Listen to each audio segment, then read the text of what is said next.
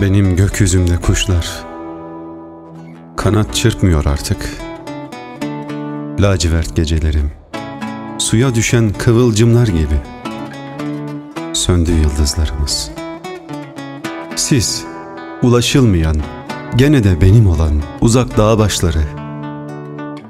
Pencerem sislere açılıyor hep. Nerede kaldınız?''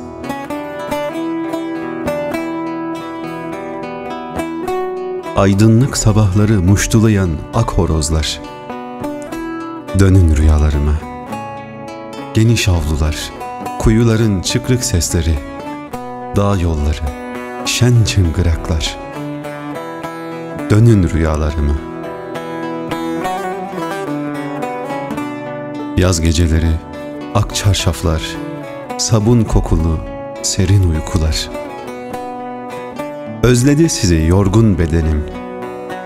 Komşumun küçük kızı, nerede o yaz geceleri? Kiraz bahçelerinden odama dolan türkülerin.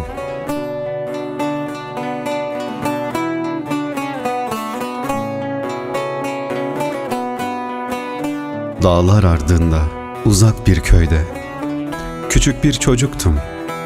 Kışlar uzundu, ambarlarımız dolu. Ocak başlarımız sıcak büyülü. Gece yarıları başlardı hayatı. Masalların, efsanelerin. Şeytan bilinmez hangi kötülüğe koşardı dışarıda. Sabahları yaralı kanatlarını sarardım düşmüş meleklerin.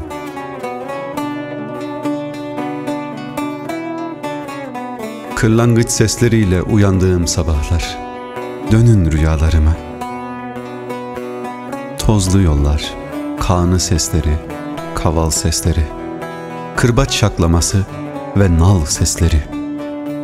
Dönün rüyalarıma.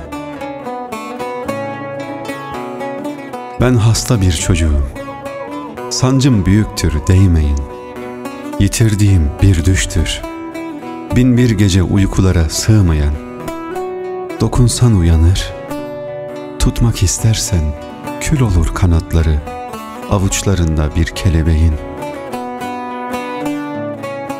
Sancılar, sancılar hep geceleri başlar. Hasta çocuklar uyumaz hiç.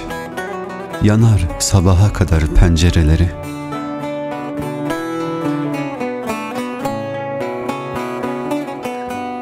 Ey dünyanın her dilden ninni söyleyen anneleri.